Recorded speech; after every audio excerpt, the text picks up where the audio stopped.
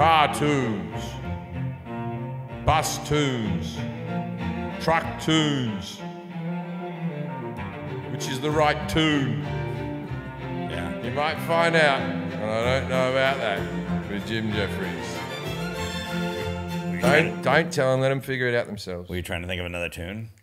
Nah, threes. Uh, look, I- that's how comedy works. Rule of threes. I thought you were reaching. I thought you were trying to get another one. No, I could plain tune. Yeah. They all they all work. Boat tune. Just vehicle tunes. Yeah. Submarine tune. Makes you wonder why is it called a cartoon? Sub tune. we had a cartoon. We had an animation special. We never asked that question. Why is it called a cartoon? I'll text him. There's no way for us to find out. Um, Um, this week coming up, big big week for you. Big week. Big week. We're recording a special. Yep. I'm coming to see. uh, We just did a sold out weekend in Kelowna and Vancouver. The crowds were awesome. Got me pumped. I'm ready. No, you I'm were re- just in Columbus and Pittsburgh. Oh well, two weeks ago those specials. Okay, we haven't we haven't actually recorded the Columbus and Pittsburgh ones yet, but the ones in Vancouver rocked, and I'm sure Columbus and Pittsburgh will be fine. But now the big ones coming up. Big ones coming up. We're recording the special. The, the set list is down. We're ready to go. Uh, Forrest is going to be there. My friend Tommy Campbell's going to be there. And uh, look, you're going to be there if you bought a ticket. If you didn't, they're already sold out. But you'll be able to see it on Netflix. Maybe for the third, there might be some tickets. Uh, there might be some tickets for the no- the day before the Day third, before, yeah, yeah. because we added that show on as a warm up gig. Yeah, go to Jim Jefferies. But it's it, it'll be it'll be tight. Go to jimjefferies.com, check it out. There's probably still some tickets for Las Vegas a couple weeks Las later. Vegas still has some tickets. They always sell close to the And day. there's some tickets for the Asia tour. If you're in Asia, I, I just did I just did a whole Asia uh, press tour last night. How'd right? that go? I like I was on Chinese speaking radio yeah. where they were trying to speak English, and then I my thick accent. I don't think a lot of information got across. Didn't, didn't you tell me in Malaysia they were like last time you were in Malaysia and you're like I think it was in Malaysia. And Oh no, there was a bloke that was like this. So this is your first time coming to Malaysia, and and like the first radio interview, and I said, I think I came to Malaysia Yeah, on the last trip, like this, right? And he, and he goes, and I go, because I went, I did an Asian tour back then. He goes, No, you went everywhere but Malaysia. He goes, I'm a comedian. I, I follow your work. I would have known if you were here. And I was like, Oh well, I'm looking forward to coming to Malaysia, right? And then I go on the next radio show, and they go. They go, uh, they go, so you're coming to Malaysia? I go, well, yeah, I've never been to Malaysia. I, I'm looking forward to it. And the radio DJ's like, you were here last time. And I was like, fuck that guy, man. yeah, yeah. I, I was with you. I was with you. Two botched interviews. Yeah, yeah, yeah. I, I You were in Kuala Lumpur. That's because where you're because. I again. feel sorry for there was there was a bit with Justin Bieber when they were doing like a police interview with him about throwing eggs or something like that, or something someone was doing a lawsuit against him, and there's a video of him going. Um, they go. Uh, they said so when you were in Australia um, in 2012, right? Something like that. And he's like looks up to his person. He goes, "Did we did we go to Australia? Yeah. Did we go did we go to Australia? Like Yeah. that, right?" And they're like, "Like yeah." He goes, I, "I don't know. Was I in Australia like that?" And the Australians got a bit uppity about it. They were just like. Well, you should remember we were at Harbour Bridge and all that type of stuff, right? and Australia, I believe, is a fairly memorable place, but I get it, man. The cunt's going everywhere. He just leaves his hotel room, goes straight to the gig, back to the hotel room. It gets confusing. All the We- venues probably look the same from the stage. we were there for t- less than 24 hours too. Yeah, we, yeah. We, we flew into Kuala Lumpur and then we drove from there to Singapore in a van. We stopped at a KFC on the side of the highway. I, rem- I And, uh, as soon as you remind me, I remember all that because we drove through there. But but everyone's always like, uh, "Do you know much about what's going on in politics over here?" And I'm like, "No." yeah. Are you going to be talking about Malaysia? And I said, "Look, I'll talk about what I did that day. Yeah. You know, that's all I can offer you." I went back there on my own and did the, the Crack House Comedy Club, which just recently Just closed, shut unfortunately. down But because yeah. these fucking idiots. yeah. Crack House. It was called the Crack House. That's a It- great name for a comedy club. Yeah, yeah, yeah. Yeah, yeah. cool. It was a great club. I Crack did I did two nights there. It was really fun, and I actually got to see Kuala Lumpur a little bit. Unfortunately, it closed. So, but um, yeah. Anyways, go All right, to you gotta- jefferies.com and You look got any shows shows to advertise for us? Um, no, you can just go to my website, forshaw.net. I got some shows on there, but also I've got the Merman podcast I do with Dave Williamson. You can listen to that Merman podcast. And, Um, but our podcast is Just kicked your dog. sorry, buddy. Uh, the ID Cat podcast on Instagram, and then our Patreon. Um, subscribe to that if you haven't already. We just did a really good podcast of that with lots of stuff where I didn't kick my dog. and uh, We did a quiz show episode. yeah, Yeah. yeah. I think that's Let's it. right? Yeah. let's do some ads. This show is sponsored by BetterHelp Therapy Online. Unfortunately, life doesn't come with a user manual. So, when it's not working out for you, it's normal to feel stuck. Therapists are trained to help you figure out the cause of challenging emotions and learn productive coping skills, which makes the therapist the closest thing to a guide to of the complex engine that is you. Hey, I think that made sense. BetterHelp was, has connected over 3 million people with licensed therapists. It's convenient, secure, and accessible anywhere, 100% online. I myself uh, do use uh, this actual uh, app myself, uh, this webpage. I, um, I, I, I go to therapy. Um, sometimes when I'm on the road and I need a therapist, I find doing it online uh, a lot better for me. Uh, it helps me free up my head.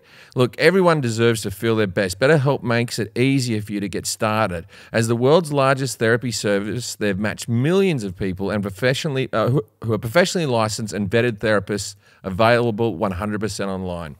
All the benefits of in person therapy, plus it's more convenient, more accessible, and more affordable. Just fill out a brief questionnaire to match up with a therapist. If things aren't clicking, you can easily switch to a new therapist anytime. It couldn't be more simple. No waiting rooms, no traffic, no endless searching for the right therapist. Get unstuck with BetterHelp. Learn more and save 10% off your first month at betterhelp.com slash IDK. That's better, H-E-L-P dot com slash IDK. Green Chef is a CCOF certified meal kit company. Green Chef, Green Chef makes eating well easy with plans to fit every lifestyle, whether you're keto, paleo, vegan, vegetarian, gluten free, or just looking to eat more balanced meals. Green Chef offers a range of recipes to suit your preferences.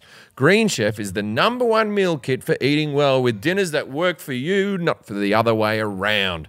Green Chef has options for every lifestyle. I've said it before, I'll say it again. Keto, keto, paleo, vegetarian, vegan, fast and fit Mediterranean, and gluten free. That's for all you people out there.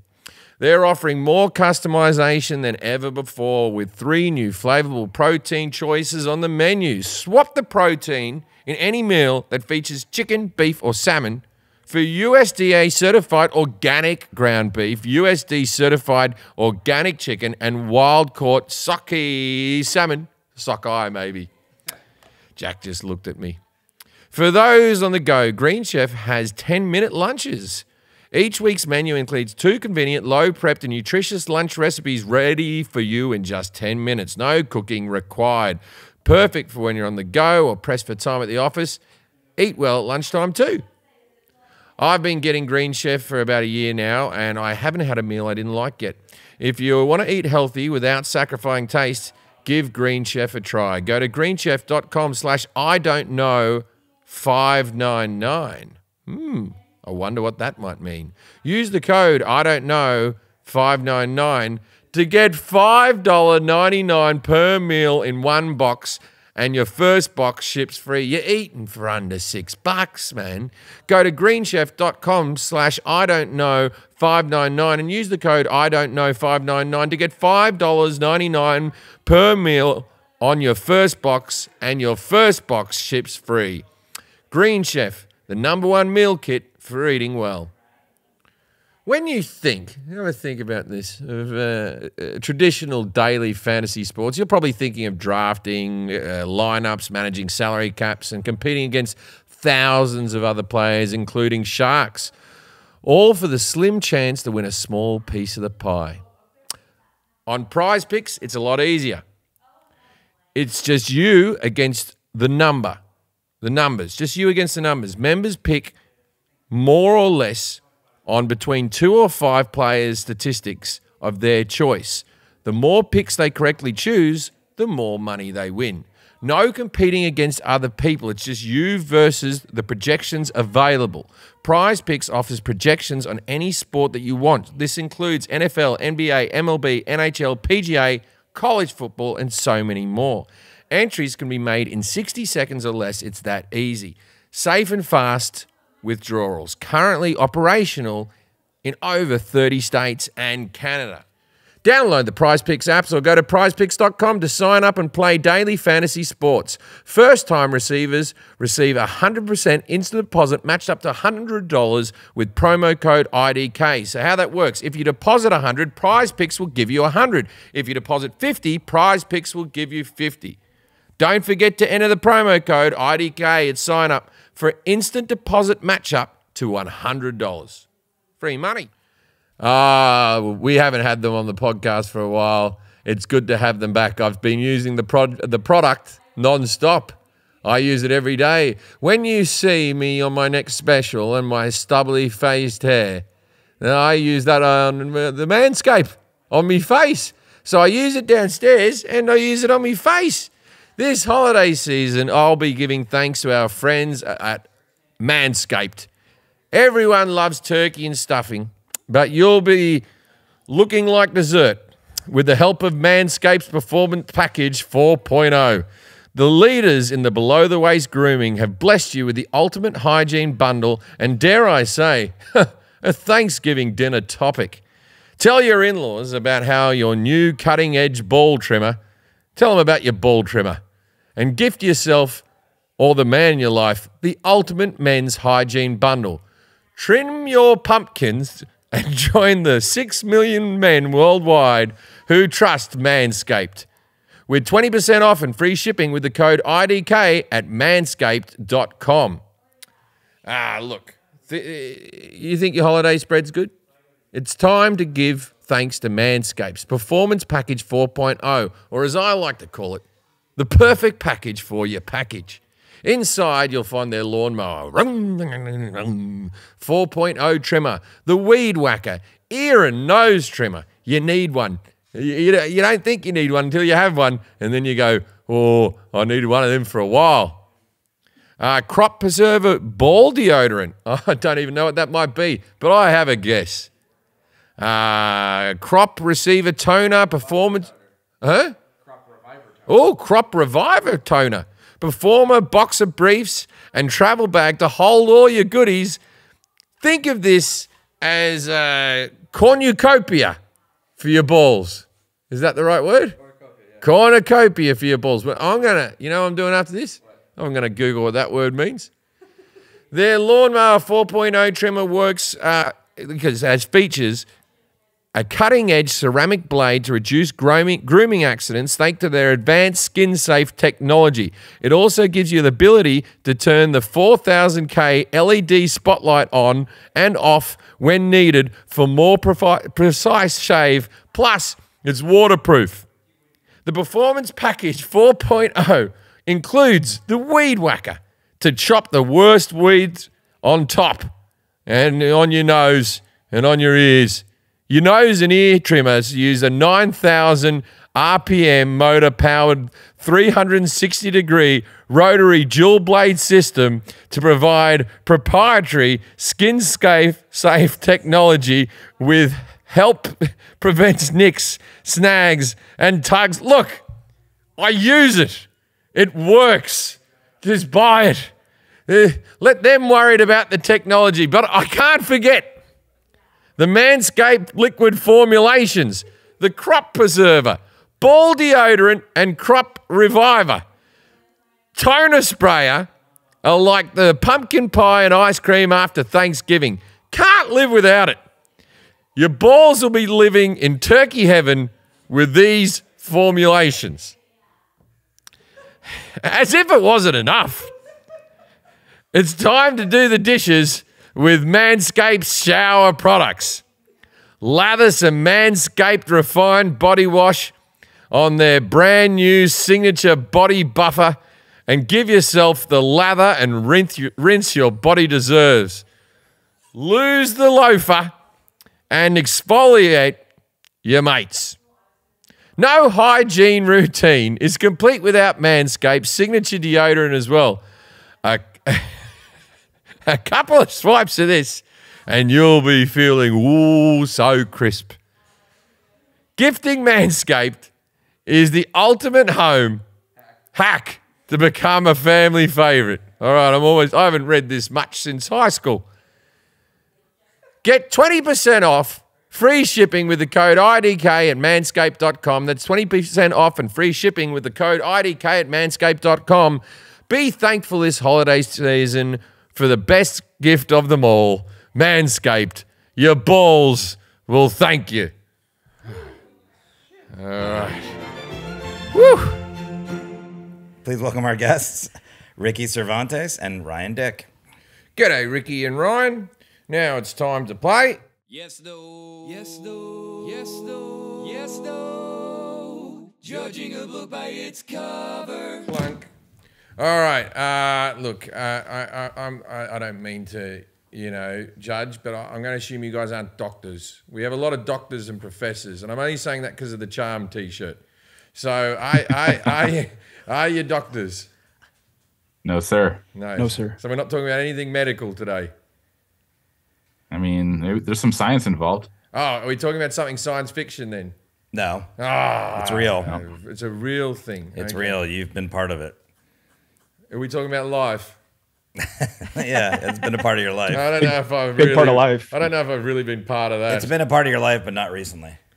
Oh, oh, uh, uh, is it condoms? Yeah, I thought you were going to say hemorrhoids. That's not No, part no, of your no, no. That's Uh, still they're, they're everlasting. I have I have hemorrhoids that are older than me. Um, okay, uh, so science and it's part of my life. Uh, is it involve engineering? There's some Yeah, engineering little bit. involved. All right, A Little bit. machines, There's some Yeah, big little- machines. little big big machines. All right, big machines. We There's some little ones in there too. and little we, ones too. We did mining uranium the other day, or nuclear power, but uranium was in it. That's so a tough right. act to follow. It's yeah. not nuclear power. It Was it nuclear power? Well, I haven't been. Okay, but I will give I you. haven't I been will, involved in nuclear power. I will give you a hint because the final hint I gave you for nuclear power was Homer Simpson, Mm. and Homer Oh, Simpson. yeah. Homer Simpson's another good hint for this. animation. No, we did Oh, we that did already. animation. no, no, but it's something Homer Simpson is known for as well. Donuts. Yeah, close. What's Duff?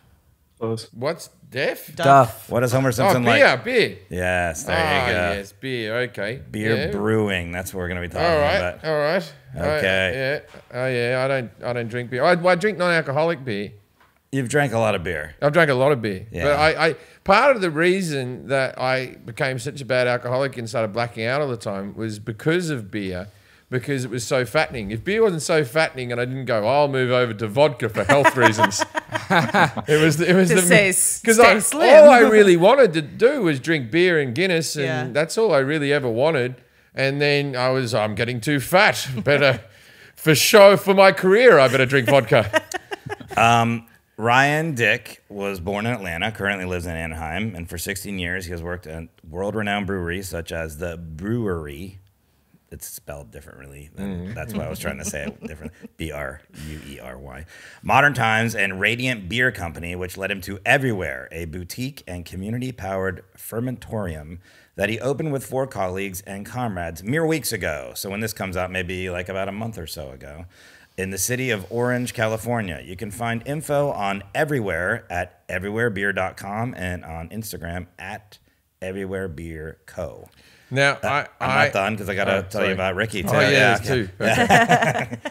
And Ricky Cervantes, born in Los Angeles, California, and raised in the Chicago suburbs. I guess that's how you know Kelly. Yeah, we went to high school together. Uh-huh. Well, not at the same oh. time. Okay.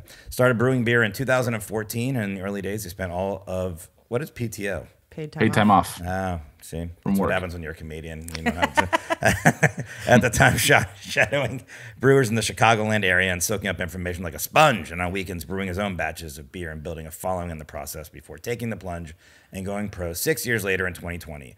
Foreign Exchange Brewing Company has been supplying the Chicagoland area's thirsty beer fans for the past few years, with plans to open a production facility and tap room in the coming year. Foreign Exchange can be found online at foreignexchangebrewing.com and on Instagram at Foreign Exchange Brewing. I haven't tried Ryan's beer, but Ricky, I tried Ricky's beer last time I was home because my brother had some of it, and whew, delicious. Good work, Oh, it's so Ricky. sick. good, good work, Ricky. Thank you. Oof, I liked Oh, it a is a- lot. He's a professional in every sense of the word. I, I didn't read all of your. uh, You sent us a lot of stuff with your bio. If there's other stuff you want us to tell us about how you got into beer, and there was something else in there about like not getting back to people's texts that you wanted me to say, but I, I don't know, if, uh, Ryan, if you want to. Oh, honestly, I was going to say if you'll give me a second, uh, for everybody watching that knows me, yeah, I just want to thank you uh, for still being my friend because I haven't fucking texted or called any of you back up and opening the brewery. So thank you. Thanks for the time. Oh, yeah, there you go. Is that how you lose friends? I, I've lost. A then you few. open the brewery and they all come back in for beer. So. Yeah, oh, I got to open a brewery to get them all back. it's funny you go. What was it? P, PTO, paid time off. Paid time off. Yeah. I, I, I've I've gotten really into this show on Netflix called The Mole, where it's like one of those game shows, and one person's trying to sabotage. You have to figure out who it is and whatever. And there's there's a girl in it whose name's Joy, and it's J O I, hmm. right? Now I know you're not as into porn as me, but J O I, that's not how you. That's that's jerk off instructions. And ah. so, so, so I thought everyone knew this. So I've been calling it jerk off instructions, and my wife was like, "Why do you keep doing that?"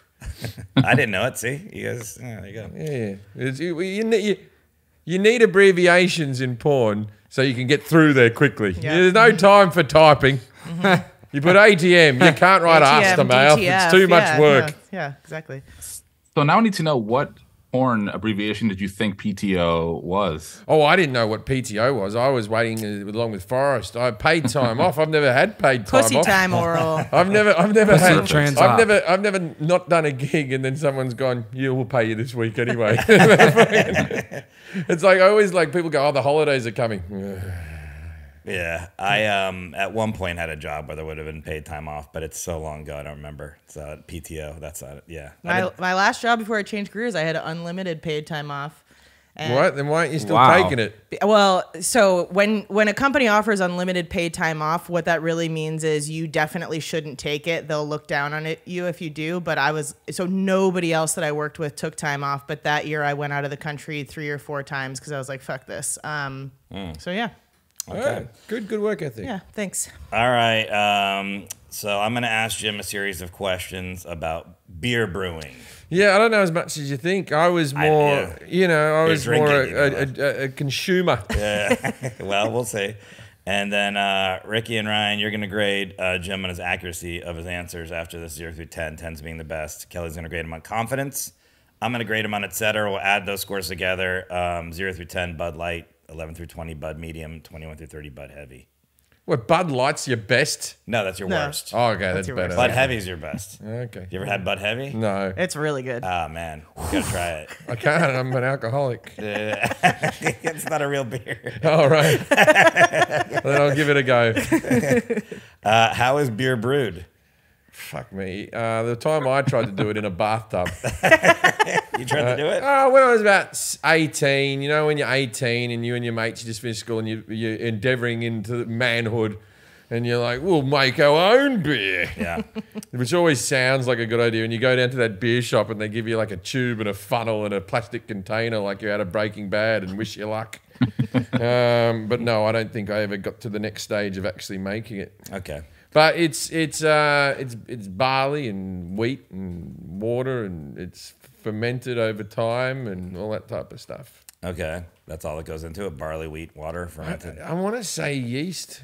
yeast. Yeah, but I, I feel like I've just done bread then. Yeah. Salt. I think I've just made bread. Yeah, okay. Uh, beers are broken into two basic types. What are they? Uh, I would, for me personally, my two types of beers are lagers and stouts. Okay. But then, you know, I've My man. I, I've I've also worked in pubs in England where I've pulled, you know, IPAs and stuff like that, like actual pulled beers, not not aerated or anything like that. So there's you know there's a lot of different types of beers, but I, I like a, just a standard lager or a Guinness. What does a quote smash beer stand for? A smash beer. Like S M A S H. Um, well, it would have something to do with Another the- acronym. No, it would go. have something to do. An acronym, right? Yeah, yeah. It's, it's an acronym. Oh, it's an acronym. Yeah, Oh, I so- was about Think to of go. porn. I was about to go like with alcohol. There's always a mash and no, a no, thing. no. okay. S M A S H. It stands for S something. M A S H. Small amount of shitholes. Yeah, you got it.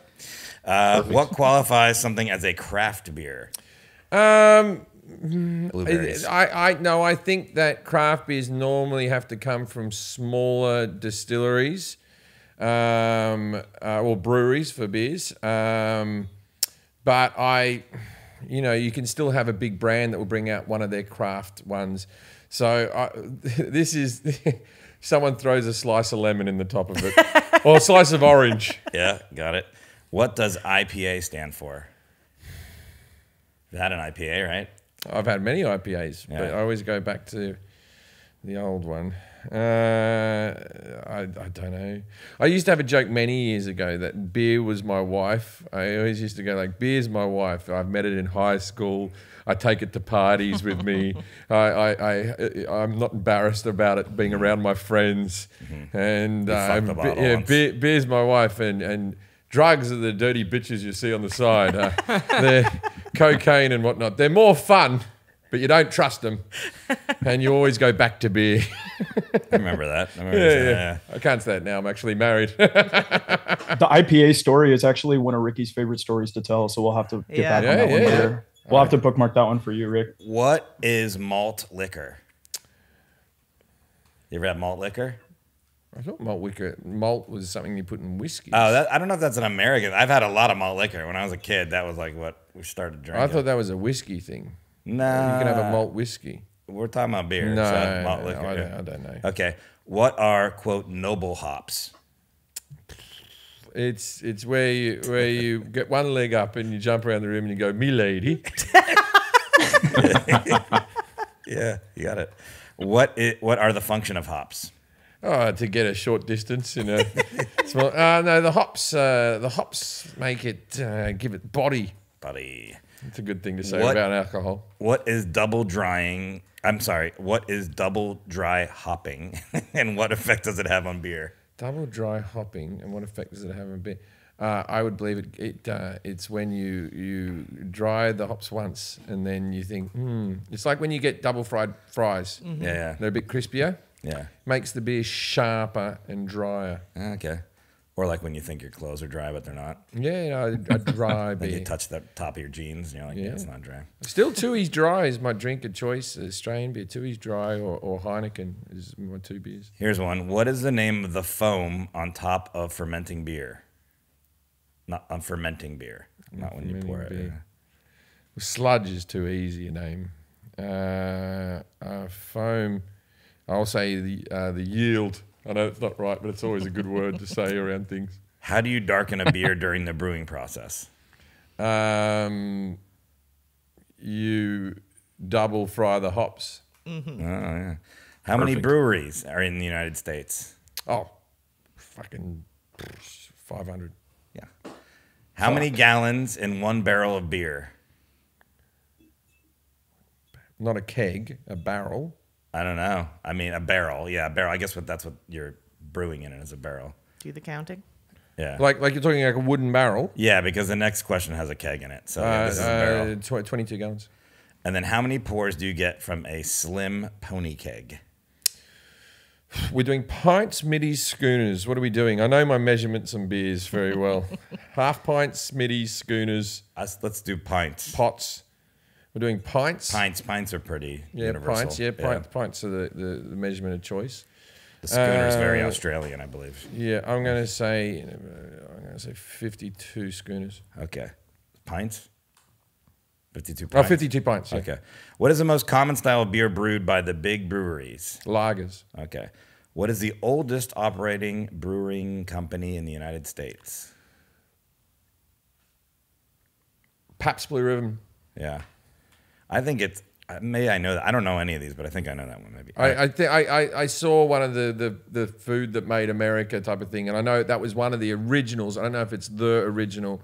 I think it beats Budweiser, and I believe it beats Coors. you know what I think it is? I think it's that one Yuengling, which is like, sounds like it's not even from there. But it's like One from Yuengling? I don't know. it seems like it's old. Yeah, it does not sound like it's here. It's better if you say two. No, Ling no, Ling. no. That's in Pennsylvania. I'm pretty sure. All right. Can you describe a phenolic, P H E N O L I C, taste in a finished beer? Phenolic. Uh, it's something. It, it covers uh, the tip of the tongue and the side bits of the tongue on the palate aren't as tenderized as the the, the tip. Good, yeah.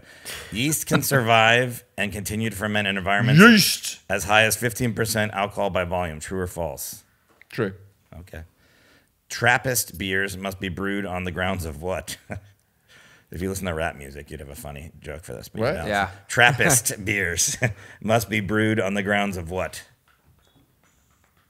Yeah. Uh, Harlem. Yeah.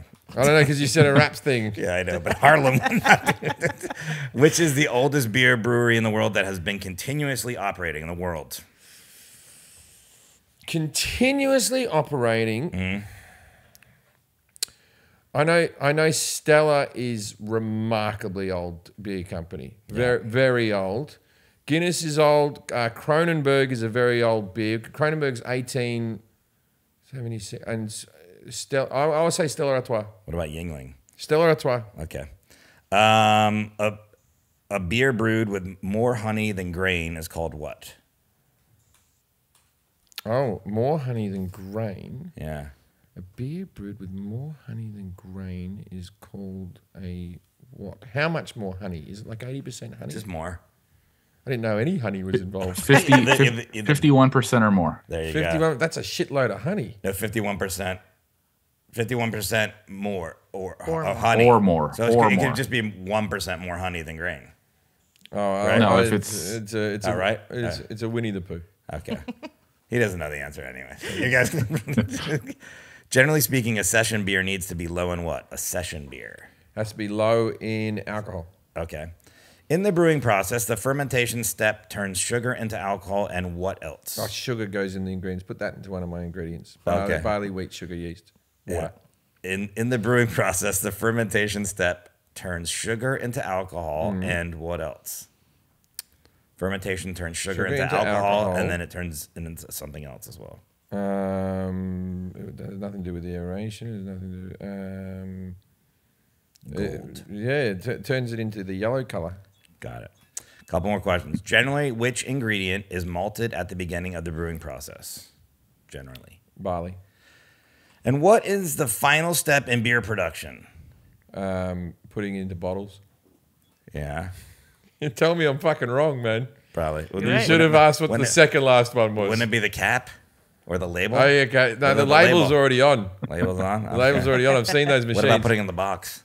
No, no, no, no. The production's done then because you can drink it off the conveyor belt then. So I'd say the cap. Yeah, seen Laverne and Shirley. Yep. Uh, what brewery is credited as starting the bourbon barrel aging trend? The bourbon barrel aging trend. So bourbon is is an American uh, type of whiskey. So I'm going to say it's an American brand, and I'm going to say that that's Budweiser. Budweiser. What causes skunked beer? Um, uh, aeration um, and the the yeast going bad, and you know not sealing something up, so you get a poor odor. Like if you leave like like you, your ball sack too long and it gets all sweaty, and you mm, get yeah. like, and then you get thrush, and it goes from more than being just a bit of sweat to now it's a medical issue. Skunked balls. Yeah. Skunk balls. Mm. Okay. What is, I don't know how to pronounce this word. G E U, geese? Goose? G U E. Use? Goose? Goose? What is goose? Where does it come from? G E U Z E. Goose, goose sounds to me to be French or German. It'd probably be German. The Germans are very beer. big into Yeah. beer. What is goose? Uh, goose Goose. uh, is who you talk to when you're drunk. Uh, Let's go talk to those goose over there. Yeah, it's it's uh, gender fluid. Uh, where does it come from? Like the word? It's German, you think? I'd say German, yeah. Okay. Lager, last question. Lager comes from a German word meaning what? Lager. Uh, Goose. lager. Uh, well, it's a, it's a it's a, it's a pale light beer in texture. Um, so I'm going to say from the German word for light. Okay. All right, Ricky and Brian. How did Jim do on his knowledge of beers? Zero through 10. 10's the best. Beer brewing. Yeah. Hit it, Ricky. Um, overall, are you talking about the overall or, or the Yeah. O- overall. over, overall, not good. I know. I didn't do Overall, well. yeah, yeah. I don't know. overall? You're I would, I would put me. it. I would put it at like a Bud Light Next, which is uh, about a three point five out of ten. Boom. What's a Bud Light next? It's like a low. It's like a. It's like a low calorie Bud Light, but you know, it's not completely Yeah, water yeah. like I Bud didn't- Light. I didn't remember that Well, one. thi- this is the thing. So, so in America, in America, in, in Australia, a light beer means a half alcohol beer. So you'll have like 0.2 percent. And so, like guys like my dad who are old, who still want to drink beer every day, but they don't want to get hammered, they drink light beers, right? Now, light beers in America, of course, we know means low uh, carb, and it's for Low calorie, low carb, Yeah, yeah. low calorie, low carb. No one told me this when I came to America. So I was going down to the improv to do my sets. I've been here for about a week. I was meeting everyone like that. And I was just drinking what I thought were low alcohol beers. I was having like six light beers and then getting back in my car like, I'm a responsible person. yeah. Took a long time. And you guys don't do the half alcohol things, not in a big way. Like No. if you're in Australia, you'll see a 4X and a 4X light and a thing and a light, and it will just be the half alcohol ones. Um, so there you go. Three and a half. All right. What? How do you do in Well, confidence? Ryan's got a. Oh. Should we give Ryan a score too? Yeah. Oh, okay, Oh, I thought you guys were doing. Oh, sorry. I my think bad. they were in agreement. Well, well, well, we can. Yeah, Ryan. What do you? We'll average them out.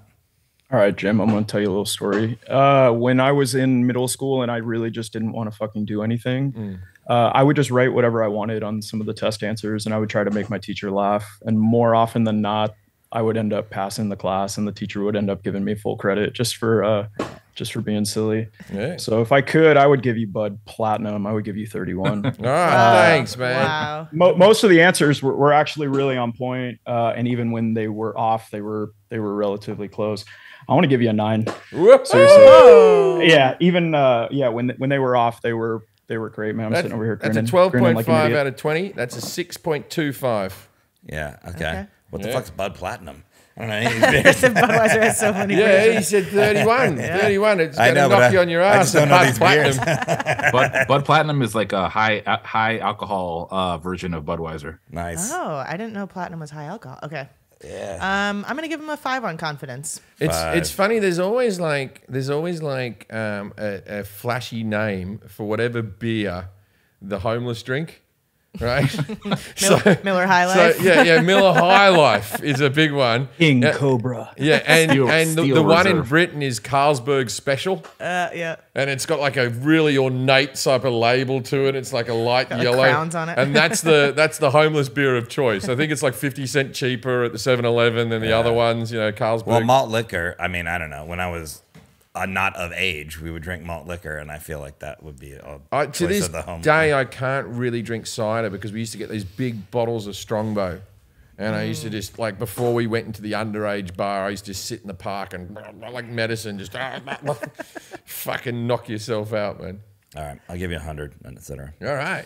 All right, But uh, heavy. Yeah. uh, so, how is beer brewed? Not in a bathtub, I'm assuming, right, guys? I mean, it can be if you clean your bathtub really well. Hmm. Otherwise, you're gonna have Prison, you bad can do it in a toilet, man. Yeah. Right. Um, no, actually, uh, Jim, you kind of nailed it. You said uh, barley, wheat, water, uh, fermented over time with yeast. Um, I mean, beer is commonly referred to as liquid bread. So you kind of were pretty spot on uh, with by calling it bread. That was the thing I remember. Like when we, we I went to Oktoberfest when I was 21, and uh, we were there and we went into all the different halls and heard the umpa music and drank big you know steins of lager and that type of stuff. And there was like a German tour guide who was meant to take us around all the halls, but his tour lasted till the first hall. And it was just like, no, there's some girls here. Don't need to see the other ones, right? So, so we're just drinking these. But I remember that one thing. He goes, here in Germany, uh, beer is also seen as a food item.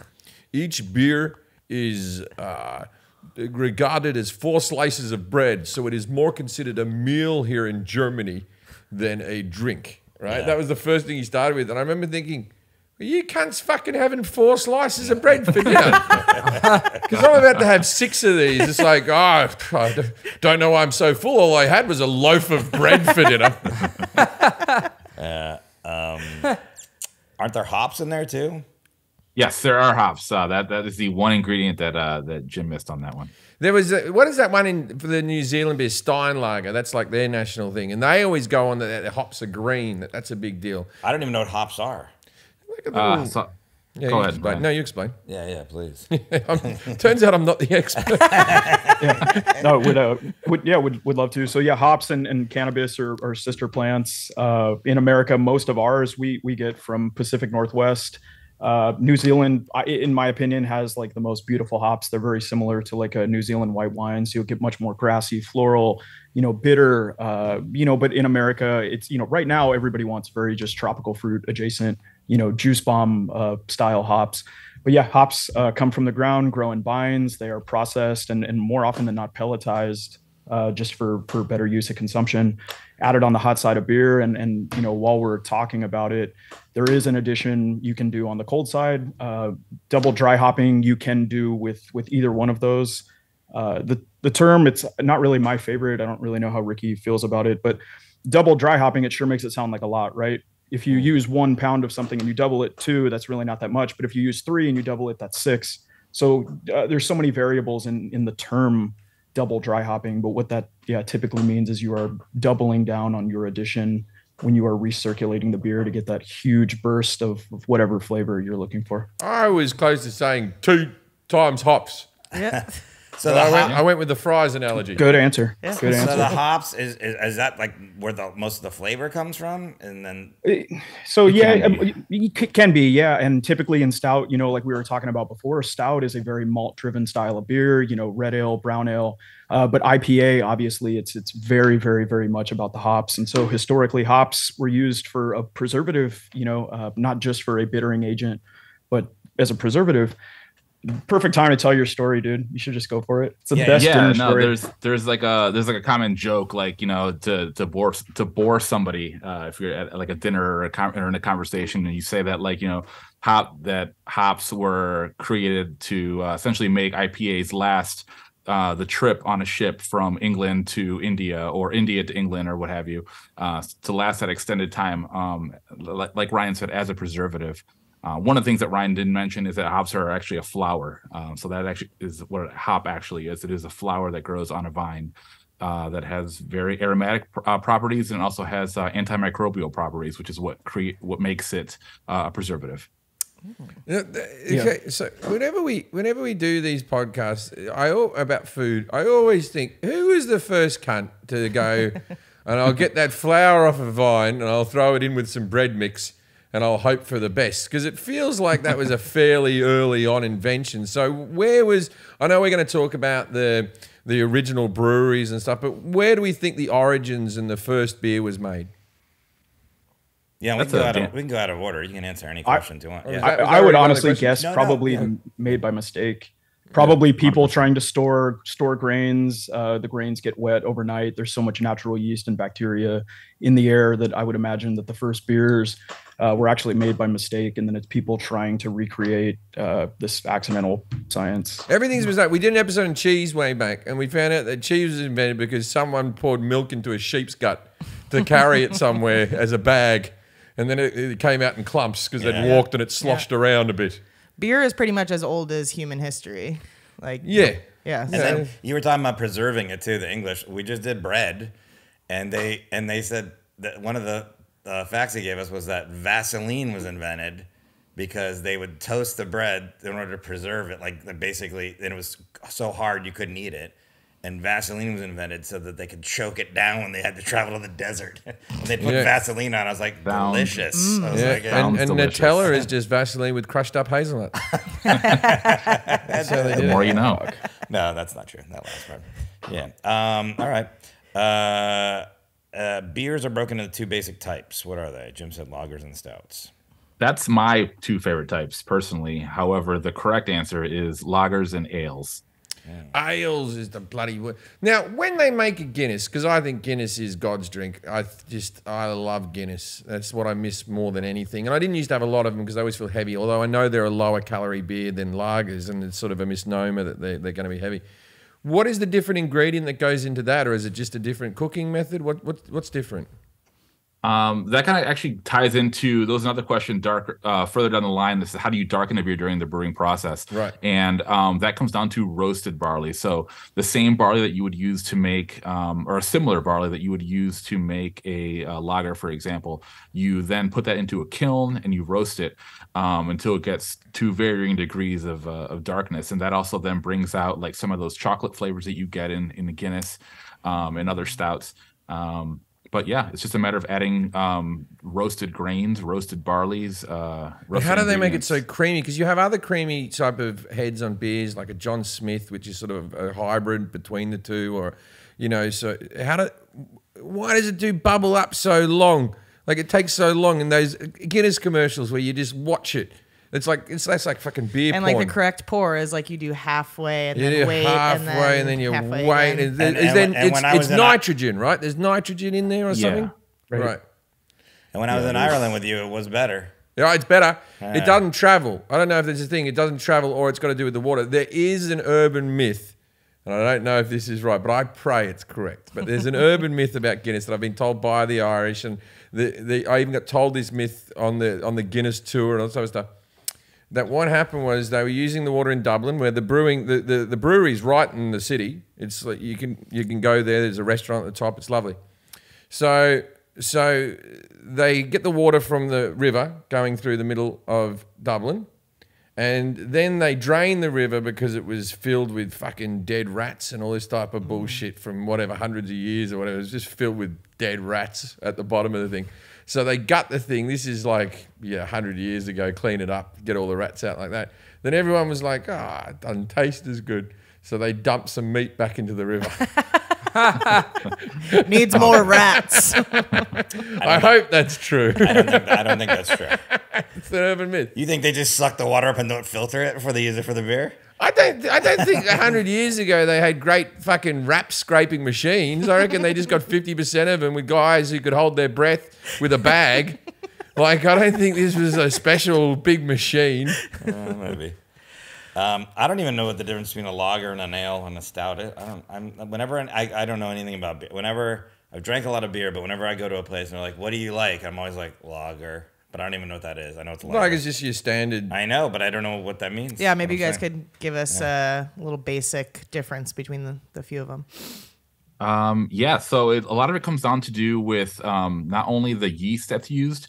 There are lager yeast and then there's ale yeast, um, which ferment in different ways. But on top of that, too, how it's actually brewed and and uh, and cellared is um, plays a part in what makes an ale an ale and a lager a lager. So lagers are usually uh, fermented at lower temperatures, and then uh, they're fermented for longer or cellared for longer. Um, and what that does is that allows them to kind of mellow out and become, you know, clean, easy, crisp drinking. Whereas uh, an ale could take, uh, you could ferment a little bit warmer. Uh, and what that does is uh, that'll also ferment it quicker. Um, and obviously has a lot of malt character uh, to where any kind of like imperfections would, uh, would be kind of buried in, in that additional flavor. Whereas a lager is got really nothing to hide behind. So therefore it has to be done perfectly. Um, anything I missed, Ryan? Um, I would honestly skip ahead. So we had one of the questions like lager is a German word meaning what? Um, lager means uh, like store, like warehouse, storeroom. So lager beer was beer, la- lager beer that was beer that was typically aged over the winter months. You know, and so yeah, you you have it readily available. Uh, a Maibock, a Maibock is a Bock beer that has been aged through the winter. You know, until May, it's ready to go in the spring uh but yeah lager beer it's it's really about uh a longer sitting time. If you guys have heard of kolsch kolsch is essentially a lager made as an ale. It tastes very similar but it's a much faster turn time. So you're able to get that beer released you know uh, our brewery had just released a kolsch for example just because we had opened so recently we can't be holding up a tank for 10 weeks to to have a true traditional pilsner style beer so we did a, and you know, a Kolsch, it's a quicker flip and it's actually priced a little bit lower accordingly. Less ingredients, faster turn time. And so because we're able to turn it over faster, there's really no reason that we would charge the same amount as we would for a stout or uh, you know, an IPA. I thought Grolsch was a brand. Grolsch Lager. Not Grolsch, not Grolsch, Kolsch. Kolsch. K O L S C H. Right, Yeah. right. Grolsch, the swing top. Yeah, yeah. Uh, yeah, people love those bottles. Yeah, that's that's a Oh, winner. those are They're great. Yeah, no, those are great. Uh, but I mean, also like while while we're talking about stout, I mean, ale is very often in the you know proper term for all of these beers. So every, even though we say stout, that's very you know you know normal nomenclature. It's actually stout ale. India Pale Ale. We shorten everything, so we say stout, we say IPA, but there is ale always really tacked on to the end of, of most of these I knew styles. that India Pale Ale. I knew that. I knew that. So yeah, don't you- easy easy to remember. Red ale, brown ale, you know, India Pale Ale, Now, stout ale. now you, you know how the rest of the world thinks about American generic beers, your Budweisers, your Coors, and that type of stuff. Do you subscribe, being because you're craft beerman? Do you subscribe that the American beers are a bit crap, or I, I personally think they're okay. They're, I've never had a problem with them or anything, but but but whenever I see Australian friends, they're always like, "Oh, how do you drink that fucking shit over there?" fucking like that. Um, do you think they get a bad rap? Time and a place. Yeah, You know? pretty much. Uh, I know. I think the problem that craft beer is facing is that the American beers are meant to be consumed in bulk. You're walking out of the store with 30 packs, but you walk out of a brewery with a four pack. Yeah. Hmm. You know, and the four pack of craft pilsner is typically 12 to 16 dollars, but for 16 bucks you can get 30 beers. You know, so hmm. if I'm going to the river and I'm going to lay in the river all fucking day, I don't necessarily want to go and load up on craft beer. It's going to be higher alcohol, more expensive. You know, Yeah, Just you're not gonna crush play a beer bunch pong of- with a craft beer. yeah, crush a flip bunch of cup. Tecates. You That is know, true. for That'd sure. be brutal. I've actually played wine pong before. That, That that's was good. It's like, it's like when you go you go into bottle shops and they have the little symbols underneath. Yeah. Do they do that here? They do it in Australia. So you'll see, and then they'll have a, like a, a symbol of a fish, and then there'll be a symbol of a steak, and all the things that you should have Yeah, this yeah. alcohol with. Yeah, yeah. It'd be nice under the beer, just a beer pong. a red solo cup. Yeah, yeah. Right. Yeah, yeah, yeah. Right. That is funny though. They'd be like, "Do you like that IPA?" They're like, "What are you talking?" But like Um, piggybacking off what, off of what Ryan just said, though. That being said, I do have Miller High Life in my fridge downstairs, so um, I am not above He's homeless. drinking some of I, these. I, not I, I, I, I drank Heinekens for the last 10 Yeah. years of me drinking. I just, I, I used to always have fond memories of going to Holland and they get the knife and they cut the heads off and all that type of stuff to keep it crisp. I used I I roofed for a summer in Florida, like for like, like four months. And when you were done roofing in Florida, we'd always go and have some beers. And there was never a time where we wanted like a dense. Be- we were like, "Give me a Coors Light." Like, Yeah, I'm not drinking fucking a Oh, hot it's, well, see, right if, now. if you Like, go just to like- England, to this like- day, there's people who live in England who don't get why they don't like any cold drinks of any. You try asking for ice in England. That's Fuck me. They serve you ice with tongs. With fucking tongs. They don't have a scoop. One, like, yeah, they go like this and they put the two cubes in and then I go, Can I have some more, please? And then, and then they, they put another one in. Like Yeah, they're that. rationing Yeah. frozen water. Yeah, yeah, yeah. They, they fucking won the war and they still fucking. Anyway, so you go. Yeah, I, I always say to them, put so much ice in, you think I'm insane. And they're like, all right. They think they're putting a joke amount in. And then you're like, that's what I wanted. And, and there's a few things is because they're slightly cheap and they think that ice will be less for them. But it's also, you know, it goes back, I think, to the British dental plans, the rickety teeth mm. and the, the cold, it hurts me teeth. Ooh. Anyway, so they they uh, but that's why they have like they still have the pulled ales where you actually got a pump. You ever seen that? So you get a big handle and you actually just go pump, pump, pump like this is the beer, and they want that beer as warm as fuck. So what they did was. In Britain, there was the younger generation that started liking cold beers. Now, if you go to Australia and you go to a bar, the beer taps are covered in ice. We like it so cold that they- they've started to freeze over on the beer taps is covered in ice until the shift ends and it melts. You know, uh, in Britain they have they have Fosters and they have Fosters super cold, and they have Guinness and they have Guinness super cold, and they have these filtration systems underneath that runs the beer through that makes it really cold before it goes through on a different tap. That would never happen in another country. Here you would just here people fucking put their mugs in fridges like Yeah. in, in Hooters, and you're not meant to do that because that puts condensation and that puts water into the beer the same way as putting ice, and it's meant to fuck around with the recipe a bit. I never thought about But I that. do love me a frosted glass. I love it. Nice. Um, what does Was I right about the frosted glasses, or I was just talking out my ass right then? I heard you're not meant to have them. I'm not. I'm not a big fan of, of uh, frosted glasses. Uh, But uh, yeah, uh, like like Ryan said though, uh, you know, time and place. Time and place at Hooters, I love it. But Yeah, John at Hooters, Taffer, what's up? That's what's when up. Jon Taffer goes into bar rescue and he sees a frosted glass, he loses his shit. You're losing all the beer here. You're losing it all. You're running your business into the ground. Shut it down. Shut it down. Don't let anybody eat any more food. They're all gonna die. What the? don't don't sell anything else unless you're using my POS. yeah, exactly. And then he always redoes the bar, and it's got like two bottles of whoever the sponsor is that Yeah, day. yeah. We have Johnnie Walker Blue and Johnnie Walker Red. That's all the spirits we have. and we're going to be serving this beer you've never heard of. People are going to come and they want to see this.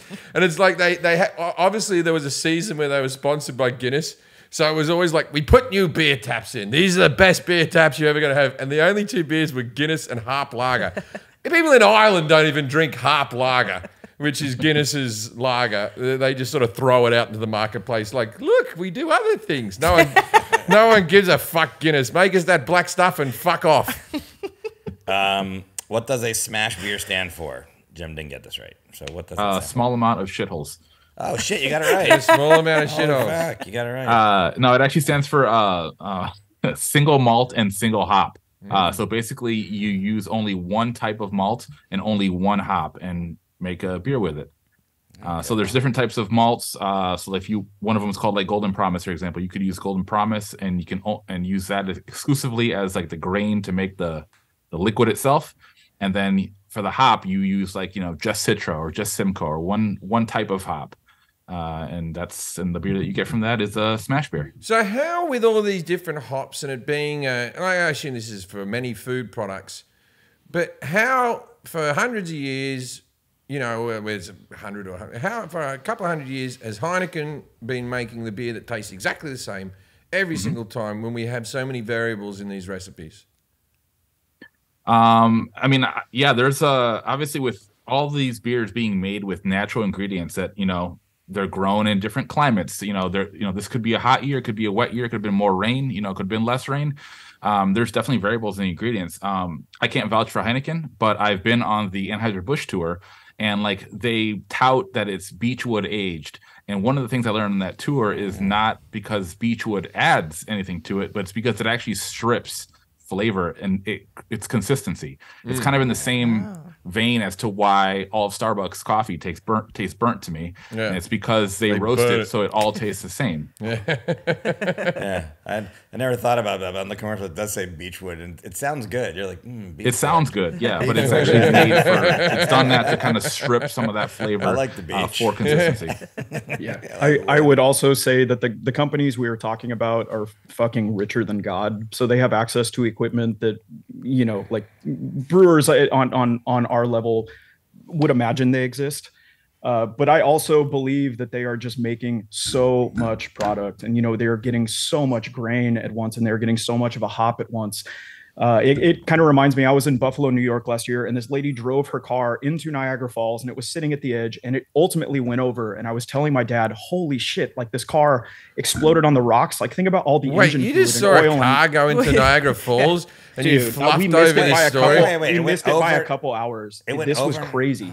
This lady tr- kill. You can look it up on YouTube. Don't do it fucking now. It's psychotic.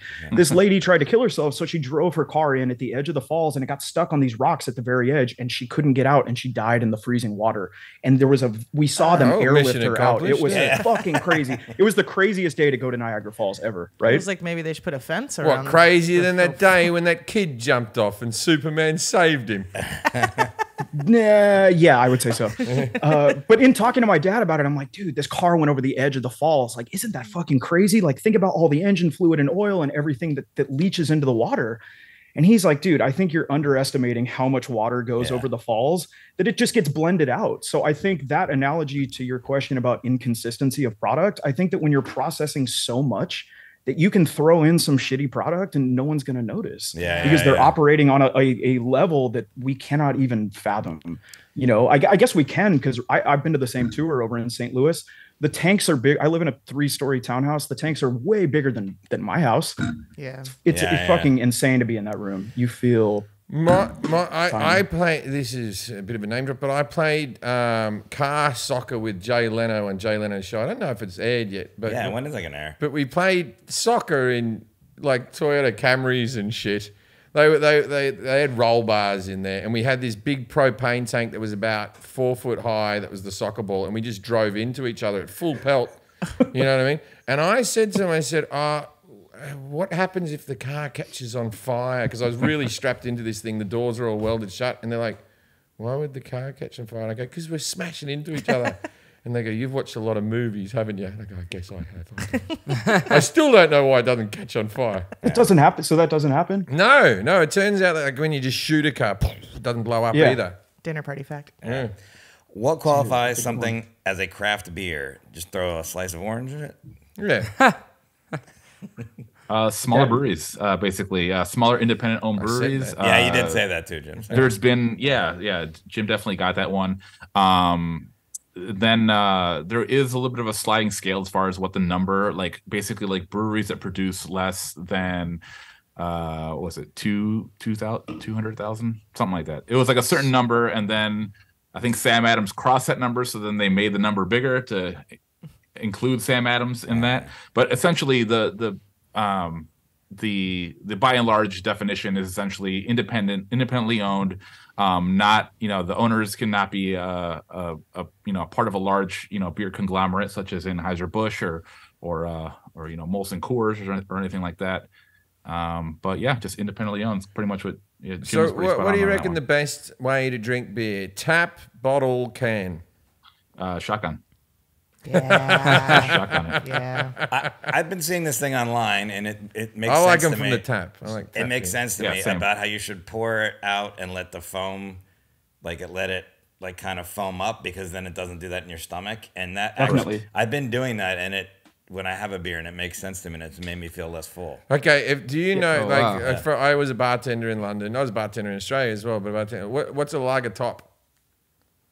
What's a what A lager top. If someone orders a lager top, what's that?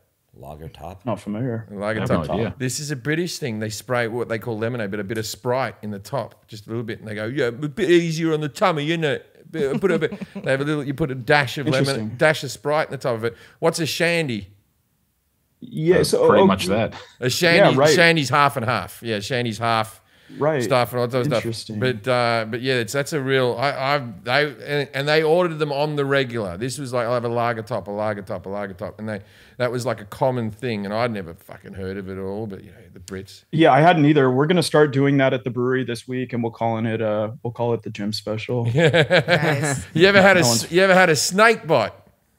Oh yeah. absolutely Yeah. So I can't remember. Snake bite is I believe a, a half lager or half stout, half lager, half strongbow, half cider, and then black uh, black currant uh, cordial dashed in there. So it's, uh, all red. cider cider and lager. Yeah, cider lager and a bit of black currant cordial. You can smash those puppies all day. You'll Wow. get fucking blind, and they drink like a coke.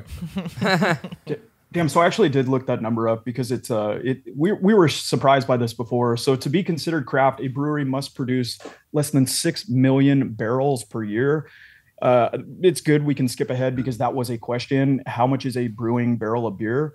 A barrel is 31 gallons. So for a brewery to be craft, they need to produce six million times 31. So I mean, do that math. Like so you guys are going to be craft for a while before you reach for reach sure for until the end of time. Okay, all right, good. It's not a So yeah, I, just I- psychotic. sorry, IPA, India Pale Ale. You were Yeah, I, I, I remember that after the fact. Um, malt liquor. it to me. Jim did not know what malt liquor is.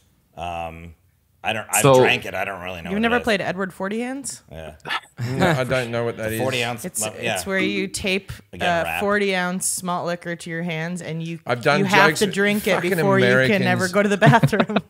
Bloody Americans and your drinking games. We love just binge get drinking. fucked. They just drink though.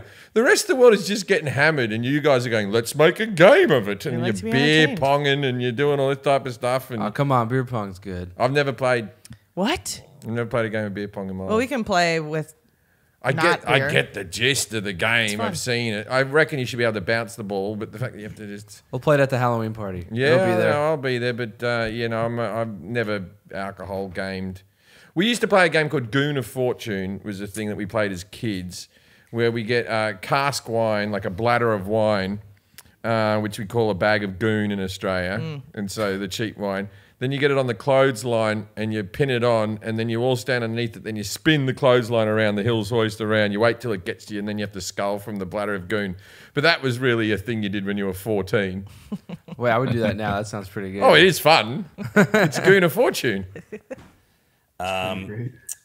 Malt liquor though. Uh, yeah, malt liquor. It's uh fermented instead of distilled. High high gravity beer, high alcohol beer. Yeah, we used to drink that a lot when I was a kid. Um, and then we talked about hop but the noble hops we didn't get to. It's not when you hop around on one leg and say "my lady." No, uh, uh, noble hops are effectively like the traditional German Belgian um, hops, like uh, uh, hops that were kind of used more for floral, uh, as opposed to like these, you know, the new the new uh, the new hops that people are going for, as Ryan kind of touched on earlier, was like you know these like very these hops that that uh, lend fruity tropical uh, uh, notes and aromas and flavors. Um, whereas the noble hops are these hops that they use for traditionally for pilsners and lagers, you know, in Europe. Um, uh, those are considered uh, noble hops. Any So what was, what was the oldest beer company? I think I, I might have gotten close, but what's the oldest beer company? The oldest, the, well, there was two. There's the oldest brewing company in the United States and the oldest in the world. Okay, what's You said two? PBR in the United States. I don't know. Oldest in the U.S. is Yuengling, so you nailed that. yeah Nice. But Pabst Blue Ribbon's Names. right close, right? It was like a P- year PBR later. is close.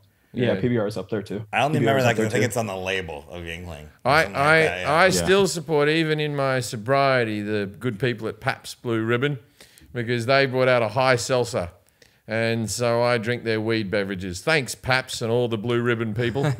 and Oh, those are those are great. yeah. and then the oldest one in the world, Mine's uh, yeah, Weihenstephaner. Wine Stefaner. Okay, okay, how old Where is is where is that? Germany. Germany. how, Is it how, Germany? how old is it? How old is that beer? Uh, let's see when they. Yeah, we, it if only we actually had a good way to find out. find out find out how old Stella And- is as well, because I think Stella's super old. Weihenstephaner was founded in 1040. 1040, In forty, Germany. okay. That's Ten old. old. Yeah, ten forty's So old. it's, it's a little older than Stella. Yeah, Stella's 600 years Freising, old. Freising, Germany. All right, well, six hundred years. No, no, they're no slouch. 1366. What's what's Wow. Stella Artois' nickname in Great Britain? Stelly. Nah, Stelly. wife beater. Oh, What? Jesus Christ. Okay. It's meant to, it's meant to anger the blood a bit, Stella Artois, for some reason. I I think that they're they're, they're just blaming something else. yeah, Oh, I had some Yeah. Stellas. What was I meant to do? Um, what what is the name of the foam on the top of fermenting beer? Jim said the yield. Go for it, Ryan. called called Krausen. Krausen. Uh, the Krausen. That's So uh, that's that's a difficult one. Is that Yeah. So what it is what it disgusting? is essentially it's just uh, the yeast that's kind of like floated to the top, and it's kind of doing its thing, and uh, it's called the it's um, commonly referred to as top cropping yeast. And you So get that out that's with one of those fermenting. pull scoops, do you? Uh, no. So what happens is, um, in the process, uh, right after the yeast is done fermenting, um, they they lower the temperature in the tank, and what that does is that causes all of that krausen to fall to the bottom, and then there's a, a valve on the bottom of the tank that they open up, then they just let it dump out until it runs clear. Okay, and then so uh, how many breweries are in the United States? Do we know this? Jim said 500. It seems like 500. five million. Seems like Uh, there's a lot. little more than 500. Um, What is it? It's like 8,500. it's uh, a little over 8,700 uh, by last count. what, what are, that are actual businesses? 8,500. So there's 80 8,500 different beer companies I can drink that I can go to the liquor store and buy. Nah, I, don't, Well, a liquor store somewhere. I mean, uh, Liquor store somewhere. Yeah. yeah. Yeah, like for example, uh, the beers, the beers that like Ryan's Brewery uh, brews isn't sold in Chicago. So um, What did you I do. Ryan? What did you do? Why is it You not just- sold in Chicago? They're too cool for Chicago. Oh, they don't yeah, know yeah, like Chicago. that. No, I They would go never say that. bloody That's my favorite hippies with their flower beers. They're not fucking coming into Chicago. You could probably sell in Indiana. You probably do a booming business in Gary. If you put a couple guns on that label, then they'll, then they'll bring them into Chicago. Yeah, We're bringing them into that's that's what part of your big battle, isn't it? The the label. The label is what draws people in. It's like it's like Just that- like They wine. are, but I mean, these yeah, are, yeah, these, are, great. these are awesome. These are fun. Yeah, Yeah, Oh, that's yeah, nice. yeah, Yeah, yeah, yeah. yeah. Kids are like that. The one I had before.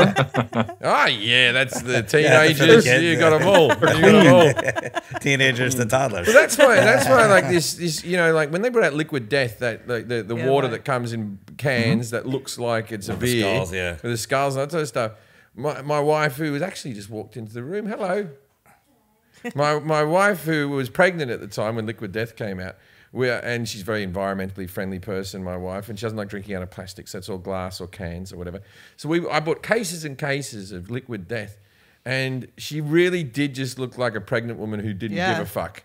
She was just walking around with this beer can in her hand, just like answering the door, and not many people knew about that, Yeah, that yeah. stuff yet. She's I like, was, "Ah." I, I was on Zoom meetings and people are like, "What are you drinking?" I'm like, "It's Yeah. water." But, uh, it's good though for, for people that are sober. They can go to social events and still feel like you know. It's like there is some judgment when you're not drinking. Well, that's so- why I like the high drinks. But another problem with being sober is, so in a day, even if you you like you're just going a bit crazy, you wouldn't have more than two Coca Colas. You might have two cans of Coke if you're going a bit crazy, right? But when you go out and you give up drinking and it goes like this, you go, well, I'll just have a Coke. And then the next cunt buys you a Coke and you're like, I really just needed one Coke this evening. and then another person buys you a Coke and it's like, I, I, okay, great, I'm sober, but I got fucking diabetes now.